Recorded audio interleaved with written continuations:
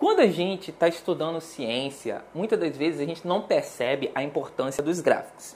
Mas eu posso dizer para vocês que gráficos é uma das coisas mais importantes de toda a ciência. E você entender e saber interpretar gráficos é algo fundamental para quem estuda ciência, tá bom? Então eu vou mostrar para vocês algo muito importante sobre esse gráfico P e V dentro da termodinâmica, que é o seguinte, olha só, nós acabamos de provar, tá? Usando essa fórmula e a fórmula do trabalho, a fórmula fundamental do trabalho, que é força vezes distância, nós provamos que o trabalho ele pode ser escrito como a pressão vezes a variação do volume. Tudo bem?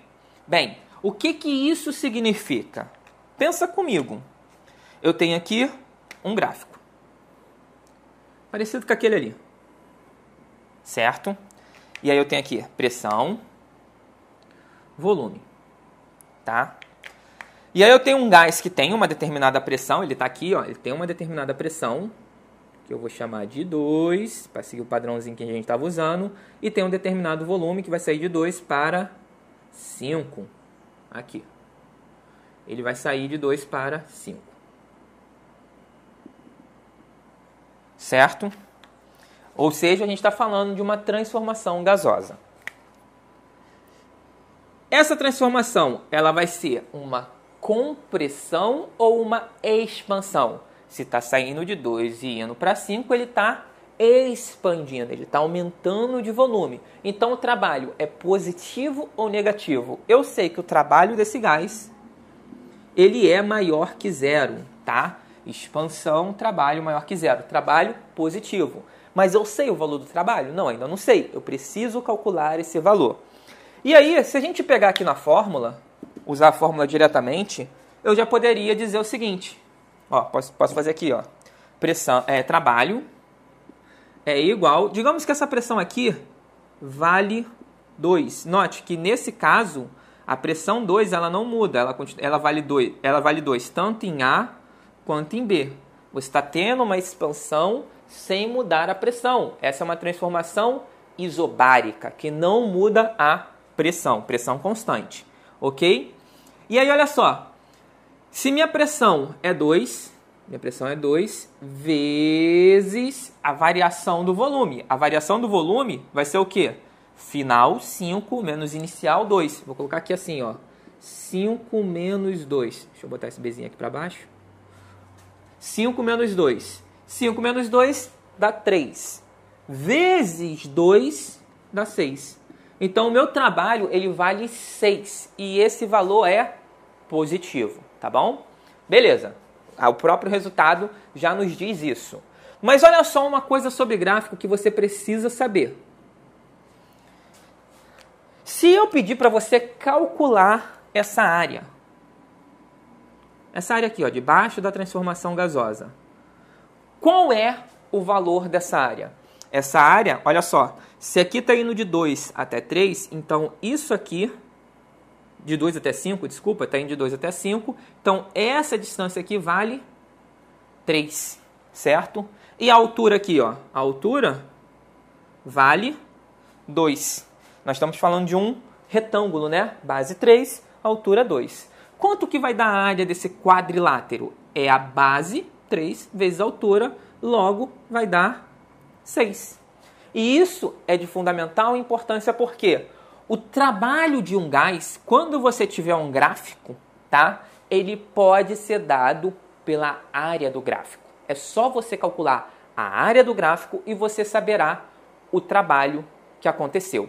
Vocês entenderam? Porque isso parece meio bobo. É bobo quando a pressão é constante. E de, nesse fato aqui, a nossa pressão, eu estou dando um exemplo aqui de uma transformação onde está tendo mudança de volume, aonde a pressão é constante.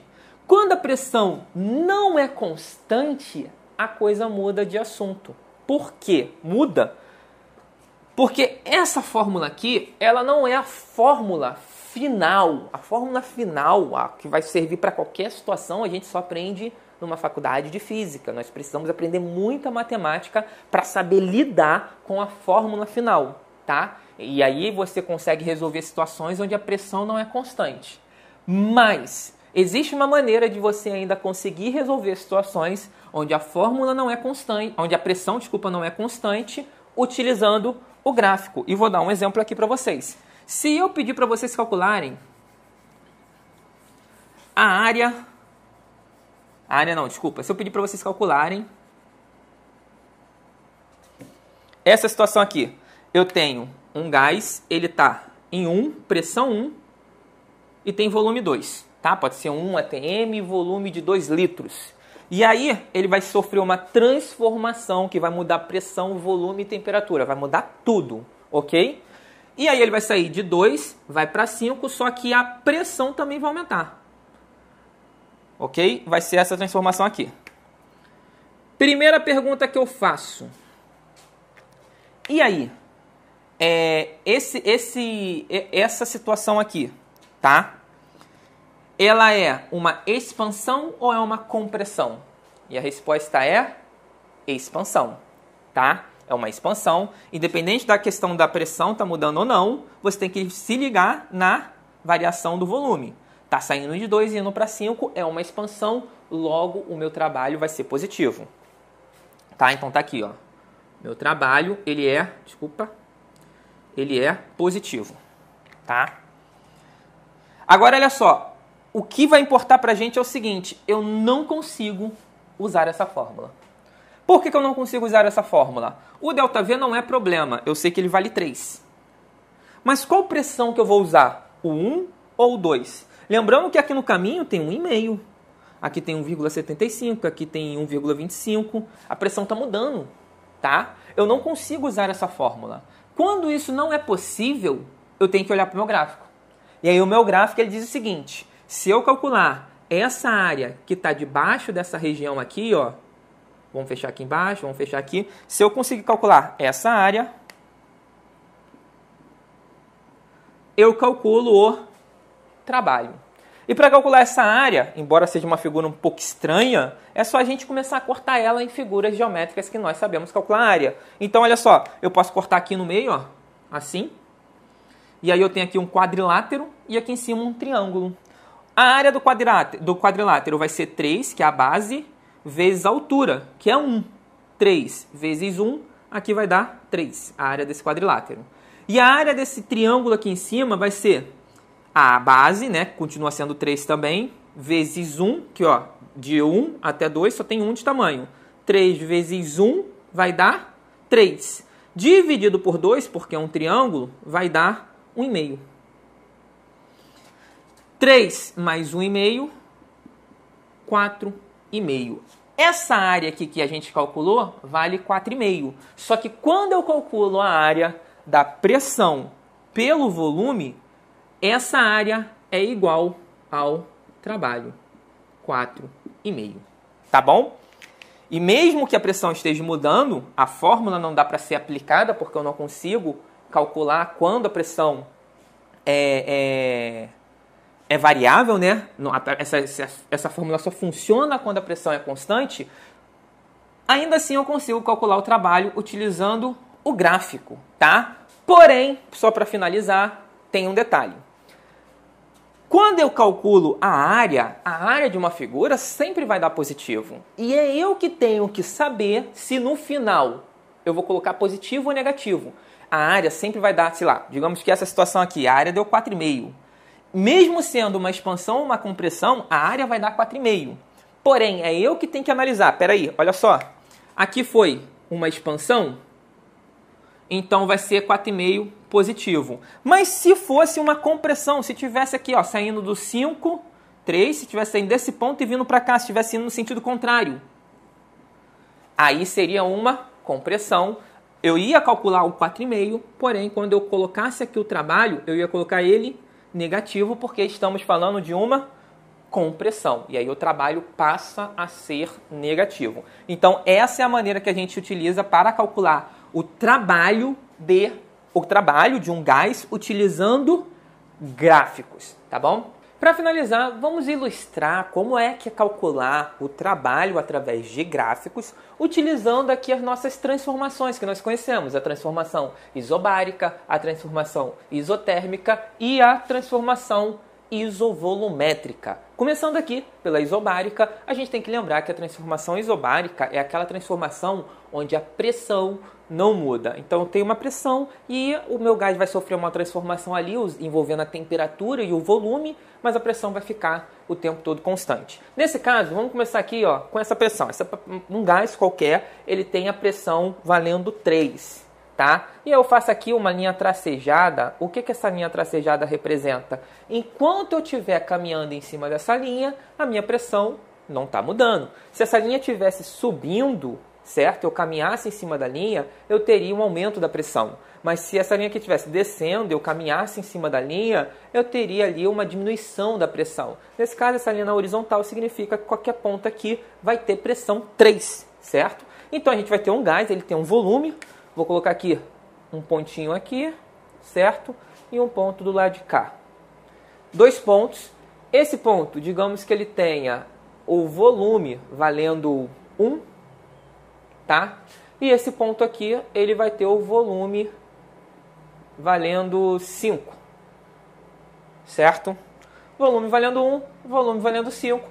E agora a gente tem que ter atenção para identificar se no nosso, no nosso gráfico a transformação ela é uma transformação de expansão ou uma transformação de compressão.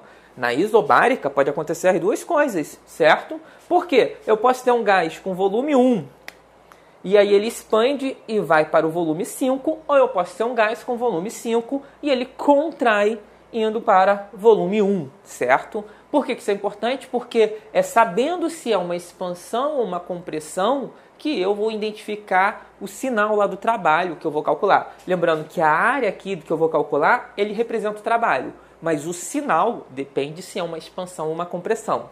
Bem, vamos supor que vai ser uma expansão. Eu tenho um gás de volume 1 e ele vai aumentar de tamanho. Se ele está aumentando de tamanho, está expandindo, o meu trabalho vai ser positivo, certo? Então basta agora eu calcular a área dessa figura que se forma utilizando esses dois pontos. Eu tenho aqui ó, a figura de um quadrilátero, certo?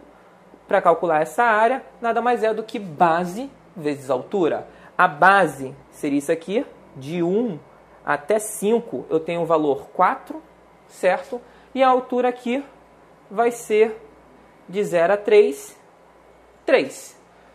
4 vezes 3, 12. Então vou ter o trabalho como sendo mais 12. Tá aqui o nosso trabalho calculado, tá? Lembrando, a unidade de trabalho é a unidade de energia, joules. Ok? 12 joules. Agora, numa transformação isotérmica, e aí, como é que funciona? A gente tem que lembrar que a transformação isotérmica ela ocorre seguindo uma isoterma, certo? Que é uma curva é uma curva mais ou menos assim, ok? Bem, e eu já adianto para vocês que nessa transformação aqui, quando estamos no ensino médio, nós não calculamos ela com precisão, com exatidão. Por quê? No ensino médio, a gente aprende a calcular figuras como quadrados, triângulos, certos polígonos em geral, os círculos, a única coisa que se aproxima de uma curva seria o círculo, mas a gente não consegue calcular a área descrita por um. Por exemplo, a gente não sabe como calcular essa área aqui, ó. A gente não, não tem nenhuma fórmula para calcular essa área, por exemplo. Não sabemos, ok? E aí, no caso, eu não tenho como calcular a área. Vamos dizer aqui, ó, tem um ponto A, aqui está o meu ponto B, certo? E eu vou ter uma transformação isotérmica saindo de A até B. Então esse aqui é o sentido. É uma expansão, note. O volume, digamos que aqui também seja 1, e aqui o volume vale 6, só para ficar diferente do, do primeiro exemplo. Então ele está saindo do volume 1 para o volume 6. Então está tendo uma expansão. Se está tendo uma expansão, o nosso trabalho vai ser positivo. Sendo positivo, é, eu tenho só um, um pequeno problema, que é, é o seguinte, eu não sei como calcular o valor dessa área. Isso não é um quadrado, isso não é uma esfera, uma, um círculo, isso não é nenhum polígono conhecido. Porém, porém, embora eu não tenha ferramentas matemáticas necessárias quando a gente está no ensino médio, porque se você estiver na faculdade, você vai calcular isso aqui e vai dar bastante trabalho. Mas no ensino médio, quando a gente não tem as ferramentas necessárias, às vezes pode ser cobrado da seguinte maneira. É, na questão, ele pode te dar esse mesmo gráfico, essa mesma carinha, e vir aqui e fazer o seguinte: ele vai quadricular o gráfico, vai criar um monte de quadradinhos.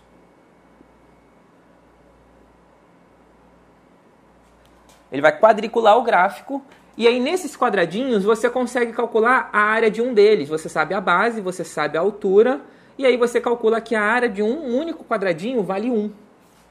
E normalmente nesse tipo de questão as questões são múltipla escolha, do tipo A, B, C, D.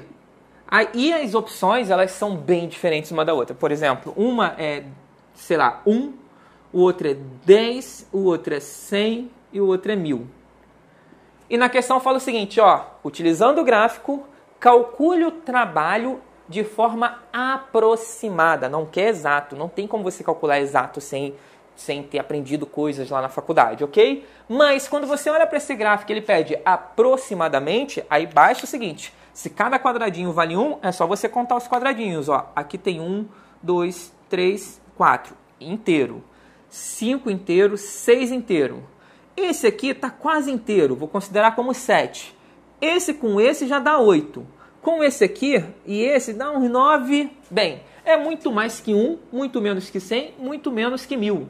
Então eu vou chutar aproximadamente 10. E aí a gente consegue sim é, não calcular com exatidão, tá? Mas você, isso pode ser cobrado em prova, no Enem, na prova em sala de aula e tudo mais, ok? E assim a gente, assim a gente calcula, utilizando o gráfico, o trabalho de uma isoterma. Agora vamos para a isovolumétrica, que é uma piada, por sinal. Por que, que é uma piada a isovolumétrica? Porque o trabalho, ele depende da variação do volume. Você tem que ter uma mudança no volume. O volume tem que ter um volume inicial e um volume final. E qual é a característica da isovolumétrica? O volume não muda. Então eu vou traçar aqui. Digamos que eu tenho um volume 8 e eu vou traçar uma linha tracejada aqui, ó, aonde vai representar uma, qualquer situação em cima dessa linha tem volume 8, onde o volume não vai mudar. Então, tenho esse ponto, eu tenho esse ponto, dois pontos, ponto A, ponto B, porém, isso não é nenhuma expansão e nenhuma compressão, o volume não está mudando. Se não está mudando, aqui é direto, o meu trabalho é igual a zero, tá bom? O ΔV aqui não se não tem mudança, é como se eu tivesse o volume final, ó, ΔV é igual ao volume final menos volume inicial. Então, ΔV, o meu volume final é 8. Menos o meu volume inicial também é 8. Isso vai dar zero. Se o ΔV é zero, aqui não importa qual seja a pressão, se está mudando ou não, zero vezes a pressão qualquer vai dar zero, então o trabalho vai ser zero, tá bom?